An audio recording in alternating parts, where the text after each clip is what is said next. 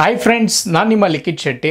Just ಇವಾಗ ತಾನೇ act nineteen seventy eight cinema ನೋಡ್ಕೊಂಡು ಬಂದೆ. ಮೊದಲನೇದಾಗಿ ಕೆ ಆರ್ ಜಿ ಸ್ಟುಡಿಯೋಸ್ ಅವ್ರಿಗೆ ಥ್ಯಾಂಕ್ಸ್ ಹೇಳೋಕ್ಕೆ ಇಷ್ಟಪಡ್ತೀನಿ. ಕಾರಣ ಏನಪ್ಪ ಅಂತಂದರೆ, ಅವರು ನನ್ನ ಪ್ರೀಮಿಯರ್ ಶೋಗೆ ಇನ್ವೈಟ್ ಮಾಡಿದರು ಬಟ್ ಅನ್ಫಾರ್ಚುನೇಟ್ಲಿ ನನಗೆ ಹೋಗೋಕ್ಕಾಗಲಿಲ್ಲ ಅದಕ್ಕೆ ಸಾರಿನೂ ಕೇಳೋಕ್ಕೆ ಇಷ್ಟಪಡ್ತೀನಿ. ಸೊ ಈಗ ಸಿನಿಮಾ ಬಗ್ಗೆ ಮಾತಾಡೋದಾದರೆ ಸಿನಿಮಾ ನೋಡಿ ಆಚೆ ಬಂದ ಮೇಲೆ ನನ್ನ ಫೀಲ್ ಹೇಗಪ್ಪ ಇತ್ತಂದರೆ, ಅಪ್ಪ ಆಫ್ಟರ್ ಲಾಂಗ್ ಟೈಮ್ ಒಂದು ಒಳ್ಳೆ ಸಿನಿಮಾ ನೋಡಿದೆ. ಅದರಲ್ಲೂ ಎಂಟು ತಿಂಗಳ ನಂತರ ಥಿಯೇಟರ್ ಓಪನ್ ಆದಮೇಲೆ ಒಂದು ಒಳ್ಳೆ ಸಿನಿಮಾ ನೋಡಿದೆ ಅನ್ನೋ ಒಂದು ಫೀಲ್ ಬಂತು. ಈ ಸಿನಿಮಾದ ಡೈರೆಕ್ಟರ್ ಮನ್ಸೂರಿ ಅವರು ನಿಜವಾಗ್ಲೂ ಸಕ್ಕತ್ತಾಗಿ ಡೈರೆಕ್ಷನ್ನ ಮಾಡಿದ್ದಾರೆ. ಸಮಾಜದಲ್ಲಿ ಏನು ನಡೀತಾ ಇದೆ? ಒಂದು ಭ್ರಷ್ಟಾಚಾರ. ಸೊ ಅದರ ವಿರುದ್ಧ ಒಂದು ಸಿನಿಮಾನ ಮಾಡಿದ್ದಾರೆ. ಅದನ್ನು ಯಾವ ರೀತಿ ಪ್ರೆಸೆಂಟ್ ಮಾಡ್ಬೋದು? ಒಂದು ಹೆಣ್ಣನ್ನು ಇಟ್ಕೊಂಡು ಸಿನಿಮಾದಲ್ಲಿ ಅನ್ನೋದನ್ನ ತುಂಬಾ ಅದ್ಭುತವಾಗಿ ತೋರಿಸಿದ್ದಾರೆ. ಏನೋ ಒಂದು ವುಮೆನ್ ಸೆಂಟ್ರಿಕ್ ಸಿನಿಮಾ. ಸುಮ್ಮನೆ ಇಮೋಷ್ನಲ್ ಆಗಿ ತೊಗೊಂಡೋಗ್ಬಿಡೋಣ. ಅನ್ನೋ ರೀತಿ ಮಾಡಿದೆ ಇವರು.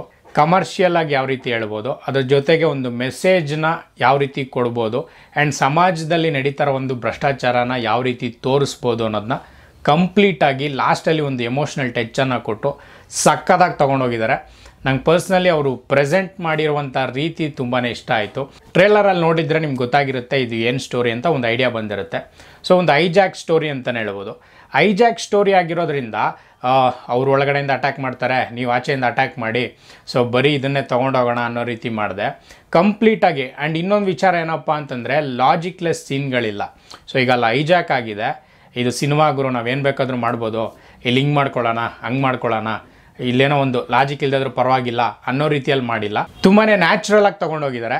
ಸೊ ಇನ್ ಕೇಸ್ ಈ ರೀತಿಯ ಒಂದು ಸಿಚುವೇಶನ್ ರಿಯಲ್ ಆಗಾದರೆ ಹೇಗೆ ಮಾಡ್ಬೋದು ಪ್ರಾಕ್ಟಿಕಲ್ ಆಗಿ ಯಾವ ರೀತಿ ಅದನ್ನ ಸಾಲ್ವ್ ಮಾಡ್ಬೋದು ಅನ್ನೋದನ್ನ ತುಂಬಾ ಚೆನ್ನಾಗಿ ಯೋಚನೆ ಮಾಡಿ. ಪ್ರೆಸೆಂಟ್ ಮಾಡಿದ್ದಾರೆ.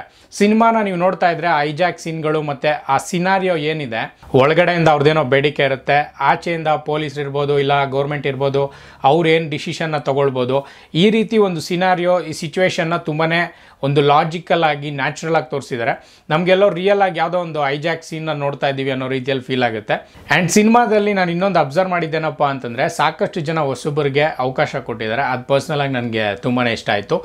ಎಸ್ಪೆಷಲಿ ಹೊಸಬ್ರನ್ನ ಯಾರ್ಯಾರನ್ನ ಸೆಲೆಕ್ಟ್ ಮಾಡಿದ್ದಾರೆ ಅವರು ಕೂಡ ತುಂಬಾ ಒಳ್ಳೆ ಪರ್ಫಾರ್ಮೆನ್ಸ್ನ ಕೊಟ್ಟಿದ್ದಾರೆ. ಪರ್ಸ್ನಲ್ ಆಗಿ ಹೊಸಬ್ರಲ್ಲಿ ಮೆನ್ಷನ್ ಮಾಡೋದಾದರೆ ಬೆಂಜಮಿನ್ ಅಂತ ಒಬ್ಬರು ಒಂದು ಪಾತ್ರವನ್ನು ಮಾಡಿದ್ದಾರೆ. ಸಾರಿ ಅವ್ರ ನೇಮ್ ನನಗೆ ಗೊತ್ತಿಲ್ಲ. ಅವರ ಪರ್ಫಾರ್ಮೆನ್ಸ್ ತುಂಬಾ ಚೆನ್ನಾಗಿದೆ. ಮೇ ಬಿ ಅವರು ಬೇರೆ ಫಿಲ್ಮಲ್ಲಿ ಮಾಡಿರ್ಬೋದೇನೋ ಬಟ್ ನಾನು ಅವ್ರನ್ನ ಫಸ್ಟ್ ಟೈಮ್ ನೋಡಿದ್ದು.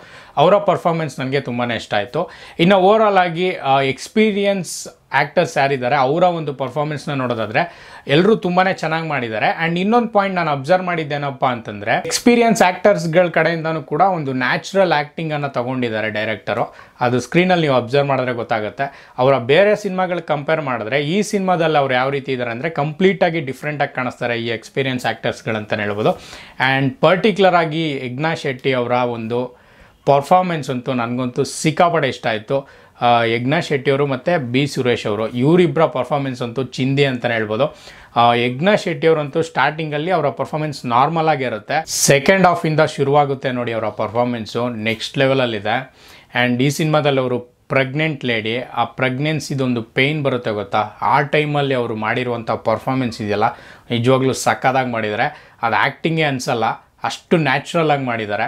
ಇನ್ನುಳಿದಂತೆ ಎಲ್ಲರೂ ಪರ್ಫಾರ್ಮೆನ್ಸು ತುಂಬಾ ಚೆನ್ನಾಗಿದೆ. ಪರ್ಟಿಕ್ಯುಲರ್ ಆಗಿ ನಮ್ಮ ಕನ್ನಡ ಇಂಡಸ್ಟ್ರಿನಲ್ಲಿ ಈ ರೀತಿಯ ಒಂದು ಕಾನ್ಸೆಪ್ಟ್ಗಳನ್ನ ಈ ರೀತಿಯ ಒಂದು ಸಿನಿಮಾಗಳನ್ನ ನಾನು ಎಕ್ಸ್ಪೆಕ್ಟ್ ಮಾಡ್ತಾ ಇದ್ದೆ. ಈ ಸಿನಿಮಾದಲ್ಲಿ ಮೇಜರ್ ಪ್ಲಸ್ ಪಾಯಿಂಟ್ ಅವ್ರು ಸೆಲೆಕ್ಟ್ ಮಾಡಿರುವಂಥ ಕತೆ ಮತ್ತು ಅದನ್ನು ಪ್ರೆಸೆಂಟ್ ಮಾಡಿರುವಂಥ ರೀತಿ ತುಂಬಾ ಚೆನ್ನಾಗಿದೆ. ಆ್ಯಂಡ್ ಮಸ್ಟ್ ವಾಚ್ ಅಂತಲೇ ಹೇಳಬೇಕು. ಆ್ಯಂಡ್ ಯಾರೆಲ್ಲ ಒಂದು ಭ್ರಷ್ಟಾಚಾರ ಲಂಚಗಳನ್ನ ತಗೋತಾರೆ, ಅದರಲ್ಲೂ ಎಸ್ಪೆಷಲಿ ಈ ಬಡವ್ರ ಹತ್ರ, ಹಳ್ಳಿ ಜನಗಳ ಹತ್ರ ಲಂಚವನ್ನು ತಗೊಂಡು ಅವರ ಜಾಬ್ಗಳನ್ನ ತುಂಬಿಸ್ಕೊತಾ ಇದ್ದಾರೆ ಅವ್ರಿಗೆಲ್ಲ ಈ ಸಿನಿಮಾ ಒಂಥರ ಕನ್ನಡಿ ಥರ ಇದೆ. ಅಂಥವ್ರು ಇನ್ಮೇಲಾದರೂ ಬದಲಾಗಬೇಕು.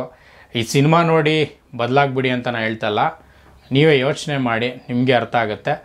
ಆ ಒಂದು ಪರ್ಟಿಕ್ಯುಲರ್ ಆ ಕಾನ್ಸೆಪ್ಟ್ ಇದೆಯಲ್ಲ, ಆ ಲಂಚದ ಕಾನ್ಸೆಪ್ಟು ಅದನ್ನು ಎಸ್ಪೆಷಲಿ ಈ ಸಿನಿಮಾದಲ್ಲಿ ತುಂಬಾ ಚೆನ್ನಾಗಿ ತೋರಿಸಿದ್ದಾರೆ ಈ ಕಾನ್ವರ್ಸೇಷನ್ಸ್ ಬರುತ್ತೆ. ಈ ಲಂಚ ತಗೊಳ್ಳೋರು ಅವರು ಎಕ್ಸ್ಪ್ಲೇನ್ ಮಾಡ್ತಾರೆ, ನಾನೇನಕ್ಕೆ ಲಂಚ ತಗೋತೀನಿ ಅಂತ. ಈ ಲಂಚ ಕೊಡದೇ ಇರೋರು ಅಥವಾ ಲಂಚ ಕೊಡೋಕ್ಕಾಗ್ದಿರೋರು, ಏನಕ್ಕೆ ನಾವು ಕೊಡಲ್ಲ, ನಮ್ಗೇನು ಪ್ರಾಬ್ಲಮ್ ಇರುತ್ತೆ ಅಂತ ಅವ್ರು ಹೇಳ್ಕೊಳ್ತಾರೆ. ಈ ಕಾನ್ವರ್ಸೇಷನ್ಸ್ ತುಂಬ ಚೆನ್ನಾಗಿದೆ. ಸೊ ಡೆಫಿನೆಟಾಗಿ ಈ ಸಿನಿಮಾ ಮಿಸ್ ಮಾಡಬೇಡಿ. ಈ ರೀತಿಯ ಒಂದು ಕಾನ್ಸೆಪ್ಟ್ ಇಟ್ಕೊಂಡು, ಹೊಸ ಕಾನ್ಸೆಪ್ಟ್ ಇಟ್ಕೊಂಡು ಬಂದಾಗ ನಾವು ಡೆಫಿನೆಟಾಗಿ ಸಪೋರ್ಟ್ ಮಾಡಬೇಕಾಗುತ್ತೆ. ಆ್ಯಂಡ್ ಕೊರೋನಾ ಇದೆ, ಹೆಂಗಪ್ಪ ಥಿಯೇಟ್ರಿಗೆ ಹೋಗೋದು ಅಂತೆಲ್ಲ ಯೋಚನೆ ಮಾಡಬೇಡಿ. ಎಲ್ಲ ಸೇಫ್ಟಿ ಮೆಸರ್ಸನ್ನು ಥಿಯೇಟರ್ಸ್ ಅವರು ತೊಗೊಳ್ತಾ ಇದ್ದಾರೆ ಮಾಸ್ಕ್ ಹಾಕಿರಬೇಕು ಮಾಸ್ಕ್ ಹಾಕಿಲ್ಲ ಅಂದರೆ ಬಿಡಲ್ಲ. ಆ್ಯಂಡ್ ಸ್ಯಾನಿಟೈಸರ್ ಹಾಕ್ಕೊಳ್ಬೇಕು. ಆ್ಯಂಡ್ ಒಳಗಡೆ ಹೋದರೆ ಒಂದು ಸೀಟ್ ಬಿಟ್ಟು ಒಂದು ಸೀಟ್ ಬಿಟ್ಟು ನೀವು ಗ್ಯಾಪಲ್ಲಿ ಕುತ್ಕೊಳ್ಬೇಕಾಗತ್ತೆ. ಎಲ್ಲ ರೀತಿಯ ಸೇಫ್ಟಿ ಇದೆ. ನೀವು ಡೆಫಿನೆಟಾಗಿ ಈ ಸಿನಿಮಾನ ನೋಡ್ಬೋದು. ನಾನು ರೆಕಮೆಂಡ್ ಮಾಡ್ತೀನಿ. ಮಿಸ್ ಮಾಡದೆ ಹೋಗಿ ಸಿನಿಮಾನ ನೋಡಿ. ಸೊ ಇದಿಷ್ಟು ನನ್ನ ಒಂದು ಆನೆಸ್ಟ್ ರಿವ್ಯೂ ಸೊ ಈ ರಿವ್ಯೂ ನಿಮ್ಗೆ ಇಷ್ಟ ಆಗಿದ್ರೆ ಗೊತ್ತಾಯ್ತಿಲ್ಲ ಲೈಕ್ ಮಾಡಿ ಕಮೆಂಟ್ ಮಾಡಿ. ಆ್ಯಂಡ್ ಮರೆಯದೆ ಈ ವಿಡಿಯೋನ ನಿಮ್ಮ ಫ್ರೆಂಡ್ಸ್ ಜೊತೆ ಶೇರ್ ಮಾಡಿ. ಮತ್ತು ನಾನು ನಿಮ್ಮನ್ನ ಮುಂದಿನ ವಿಡಿಯೋದಲ್ಲಿ ಭೇಟಿ ಆಗ್ತೀನಿ ಅಲ್ಲಿವರೆಗೂ ಬಾಯ್ ಬಾಯ್ ಟೇಕ್ ಕೇರ್